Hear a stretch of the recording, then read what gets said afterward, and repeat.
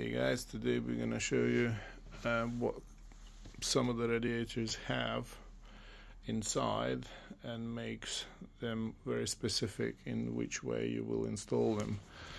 Um, in this lovely house, all radiators works satisfactory apart from this one. Tried to balance the system out better, didn't make no effect. Switch all radiators off apart from this one, made no difference. So we thought maybe it's badly sludged up or anything, but no.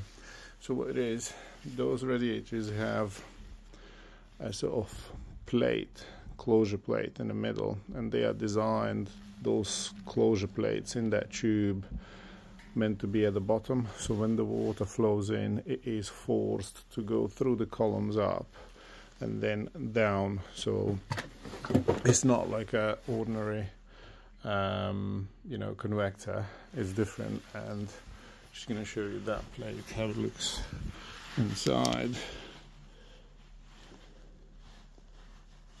So I'm not sure if you can see it there. Yeah maybe so it's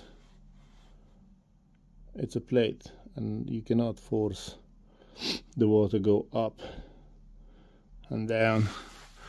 And this client said the radiators always was just half at the bottom warm because the water was just shooting through at the bottom. Nothing was forcing go up and down through it. So what we need to do is we need to